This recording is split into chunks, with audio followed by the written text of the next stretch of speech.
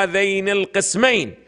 أن الروايات هسه سموها النقطة السادسة أن الروايات المرتبطة بأسباب النزول من القصص والحوادث في الأعم الأغلب مصادرها سنية.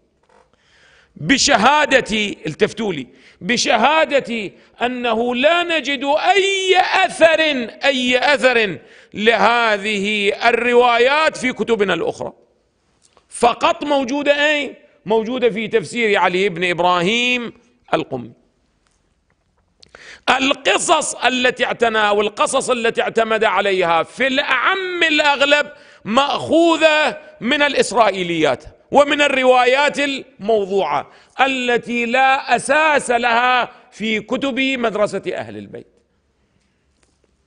من هنا أعزائي فعندما نأتي إلى روايات شأن النزول لا بد أن تلتفتوا جيدا لا تستندوا مباشرة لأنه ورد في تفسير علي بن إبراهيم. لا لا لا ابدا. لأنه لا بد أن تعرفوا مصادر هذه الروايات. عندما تراجعون تجدون أنها موجودة في مصادر أهل السنة.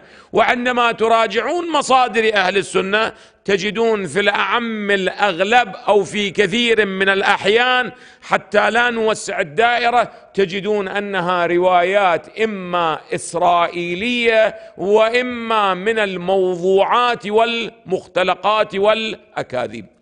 وهذا بخلاف أعزائي في الروايات التاويليه أو في النصوص التأويلية فإنها في الأعم الأغلب مسندة ولها نصوص.